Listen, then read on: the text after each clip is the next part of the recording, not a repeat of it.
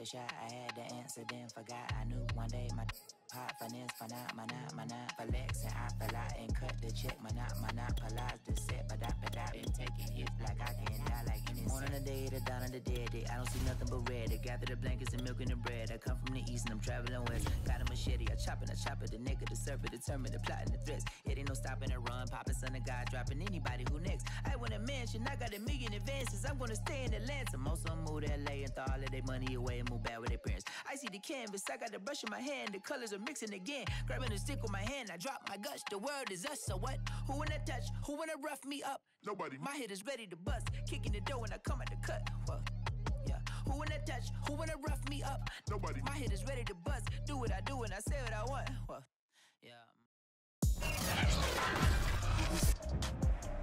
Today, from FedEx Field in Landover, Maryland. It's week 10 of the NFL on EA Sports.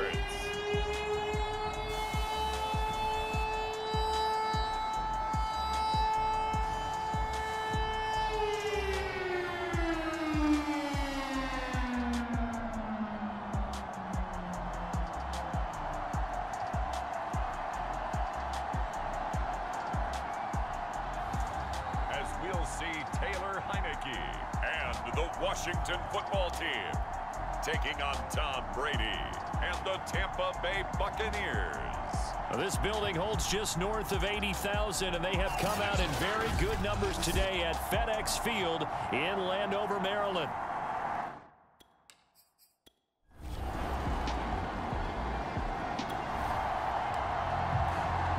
So now this offense will take over, and they will have the football at their own 20-yard line. A first carry for Leonard Fournette. And he'll take this ahead for about four. Second down coming up. And Charles, despite this list of key inactives that we see here, they've obviously still been pretty successful. Give everyone credit for this one because to me, when that happens, key guys are out, the next man steps up and plays well, but that starts with the organization itself, all the way through. No excuses for guys being out, finding guys who are capable. Mike Evans, he's going to go. Prime time, baby. Touchdown, Tampa Bay. Mike Evans, 76 yards. And the Buccaneers on just two plays have taken the lead. As a fan, is there anything prettier than a well-executed post route? No, it's a thing of beauty, especially when it's... Ryan Succop on for the point after.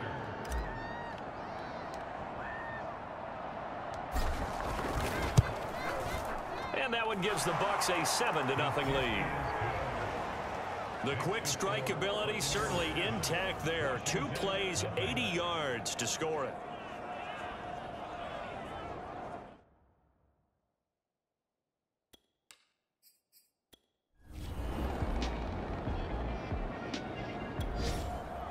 Offense set to begin their next possession. They're at the halfway point of the season, Charles. 8-0. What a great start. Clearly a Super Bowl contender, if not the outright favorite, through two months to win the whole thing. Well, there aren't too many bad things you can say right now because this team is playing pretty well. They've had a couple of injuries. That could plague them down the stretch. But their intensity doesn't waver. I think the road to the Super Bowl is going to go through them in the playoffs. And if you're on their road, things could be bumpy for you. Fournette running right. And he'll work it across midfield inside the 45. So they go pass, now they go run, and two plays resulting in really nice pickups. Certainly sounds like a 50-50 deal, doesn't it? Sounds like great balance. Well, you know what all those coaches have told us over the years, Brandon, that balance is?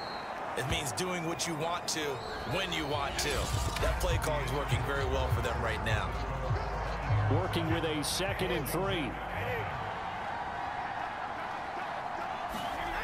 Throwing now is Brady. And he fires one incomplete. So this game, Charles, you know, we talk about potential unbeaten seasons a lot. It feels like every year at some point in the season we talk about that. But this is one of those games where if you're unbeaten, you got to be careful. You can't take this one too lightly. You're exactly right about that. And by rights, this should be a cakewalk. Almost a week off. Let the starters run up the score in the first half. Backups get to play in the second. But you and I both know that funny things sometimes happen when you think this way. So it's incumbent upon the starters to really play well to make it work for this team. On first down, Brady.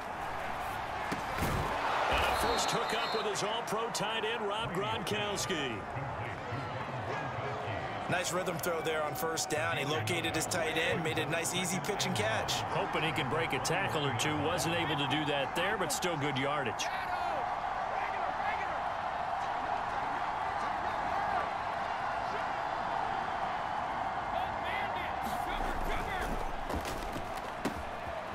This is caught by Evans. Touchdown! Mike Evans. His second touchdown of the game, 17th on the year. Succop for the extra point.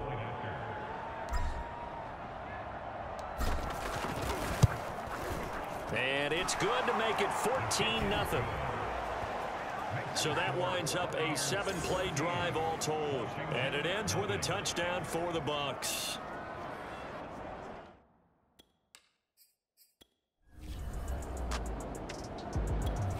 The Bucs offense set to begin their next possession.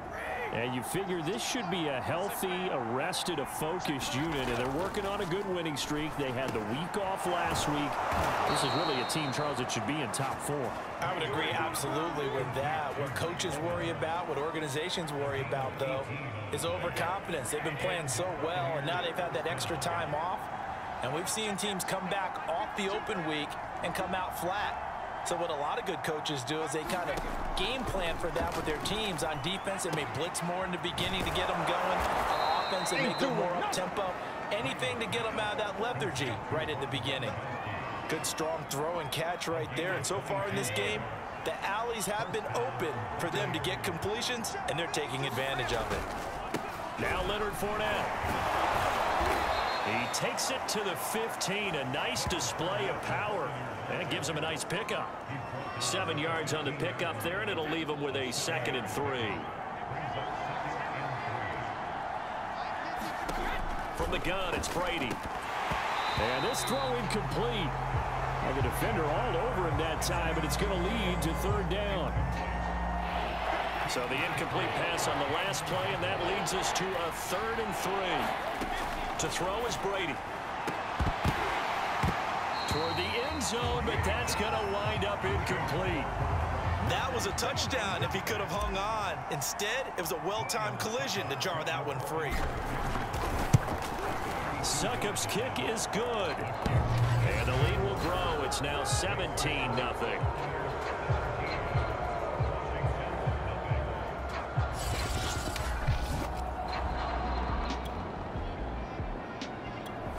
The Bucks offense set to begin their next possession.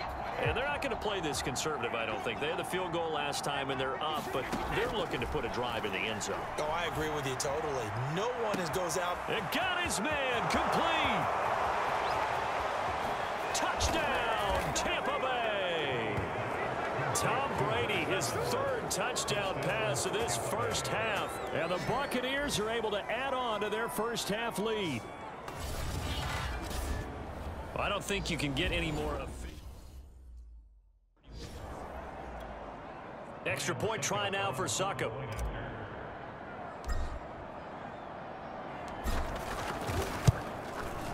And the lead is now 24.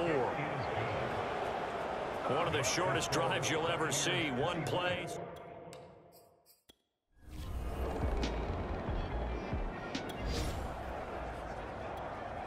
So now this offense will take over, and they will have the football at their own 20-yard line.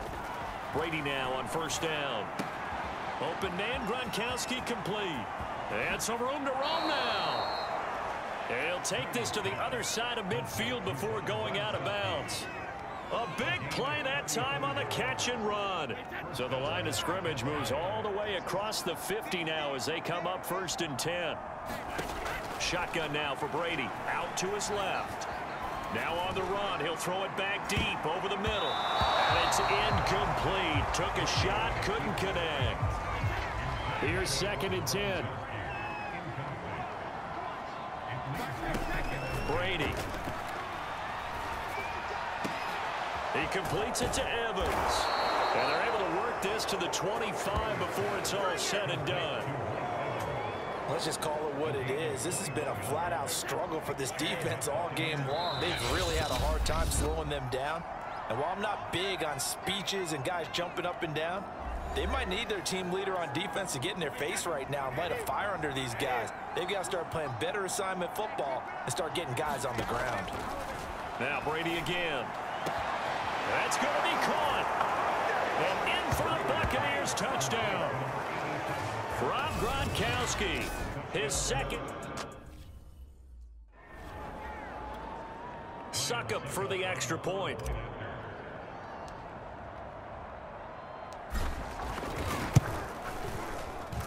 And the route is on here in this first half.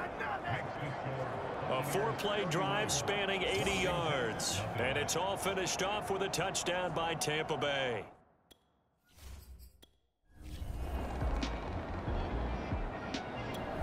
The Bucs offense set to begin their next possession. The last time out, another touchdown. I think there may be some empty seats around here by the time the fourth quarter comes around. Yeah, I have to agree with you because this was just about decided. But a leap, and he's got it. He got it. And he finally goes down, but not before reaching the 21. A big play that time for Tampa Bay. Now Fournette. Big hole up the middle. And he's into the end zone. Touchdown, Buccaneers. Leonard Fournette with touchdown number 12 on the year. And the Bucs come right out of the locker room and score here in the opening minute of the third quarter.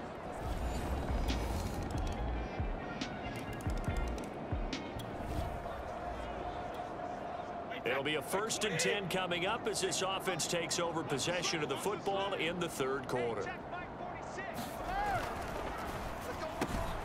Got his man complete over the middle. It's Evans. And down he goes, but he takes it up to the 40. Oh, that was a nice job there. Quarterback and receiver reading the pressure that was brought. They both knew it was going to open up the middle of the field. Nice little shake and bake at the line of scrimmage. Got right into his route. And the quarterback hit him in stride, and he was able to run free after the catch.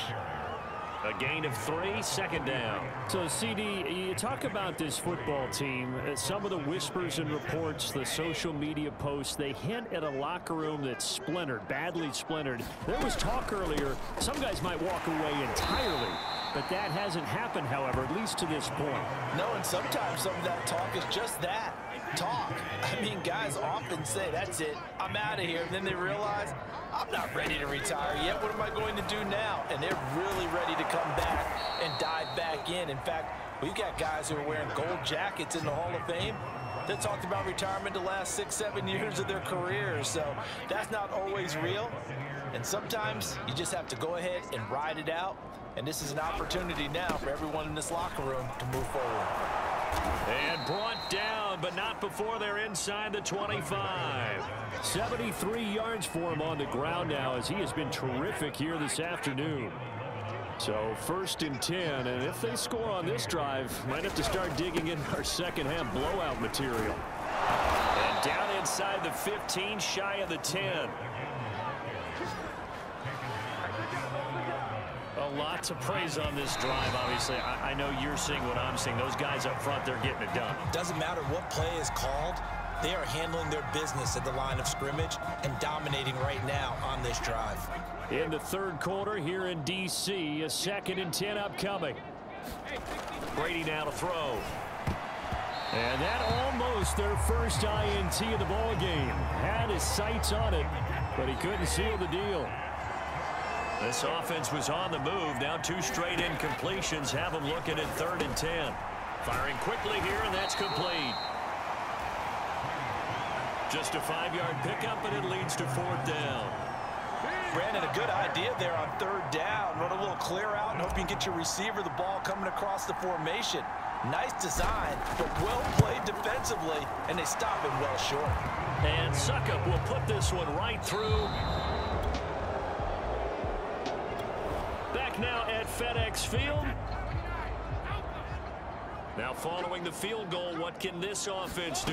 We're about to find out. Fournette running out of the gun. And he's got four down inside the 20 to the 18. Coming up on a second and six.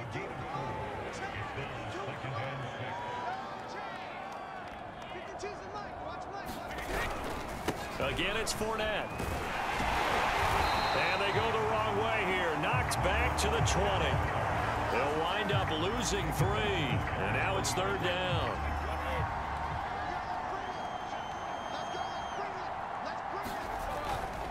On the run, it's Fournette. And he gets the first down yardage before he's brought down just outside the 10 at the 11. No doubt those are the types of carries they're looking for here, Charles. The lead in the fourth quarter. This is when coaches that have a reliable running game, they breathe a little easier on the sideline. Yeah, they love the idea that they can take the air out of the football at this point of the game. That means they're really counting on that offensive line, counting on the runners, taking care of the football. Because you're going to tell your quarterback, hey, no time to be a hero. We're not going to throw it here. Just eat up that clock. And if you The Bucs offense set to begin their next possession. And they just continue to roll right along, really. This has the looks of yet another victory as they hope to polish it off here in quarter number four. And he's going to be stacked up right at the line of scrimmage. Nothing there for him. Second down. So after the run for no gain, here's second and 10. They'll try and run some clock here as they keep it on the ground. The second down play, not much better than the first, just a gain of one there. The Bucs on third down. They've converted three out of five thus far. This is third and eight. Here's Brady to throw. And able to catch it on the left sideline, but they're going to rule him out of bounds. So it'll be incomplete. Certainly one they'd like to have back as it brings up fourth down. How about some applause for the defense there? They forced him to throw that one into coverage, and just like that, they're staring at a fourth down. Well done. Succop's kick is good. And they're sitting pretty now as the lead grows even further.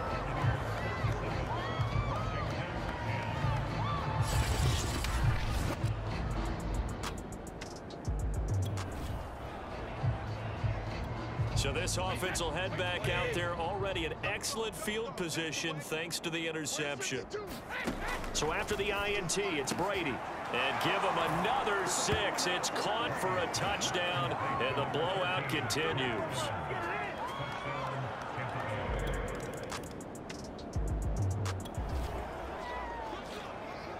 Well, their defense did the job. They got the turnover on downs. Now what can the offense do as they take possession? This is Fournette.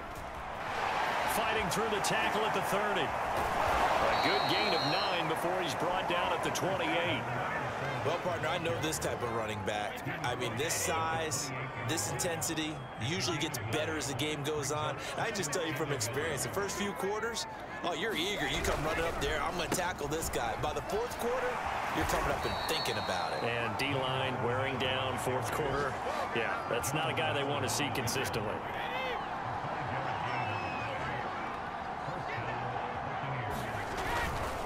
They'll run with Fournette. And able to break one tackle, but then quickly brought down. But a nice little game. 119 yards rushing for him so far as his terrific season continues here. The last run got nine. That leaves him with second and a yard. And they'll indeed take a knee.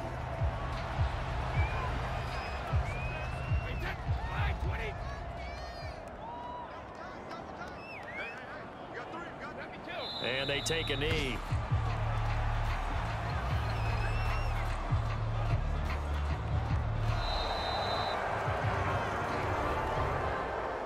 Well, Charles, it's one thing to win. It's another thing to win and put up the amount of points that they did. Boy, were they clicking on offense. They can't help but feel great about themselves, can they? I mean, what a game to put up that number of points, continually feeling like they're moving the ball and things are working and clicking. They think that they can bottle this and carry it with them. And as an offensive coordinator, you just don't think you can do anything wrong. Whatever you call, run, pass, it's all going to work. That's called being in the zone. So for the Bucs, the train just keeps rolling 9-0 now to start this campaign. And they'll return home next week to take on the New York Giants. Meanwhile, for Washington, the difficult season continues as they drop to 1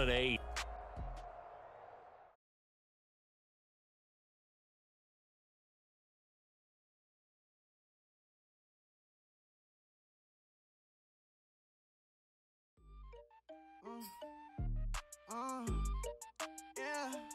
Uh, turn me up, then the tables and turn.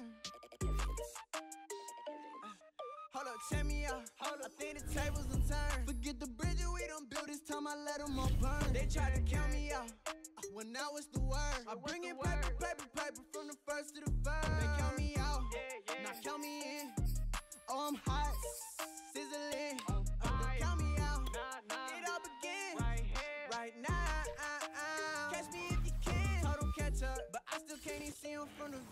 my check up, and now I'm trying to blow a bag of two. Proud of shoe, and all designer drink get what I desire. Put 'em out.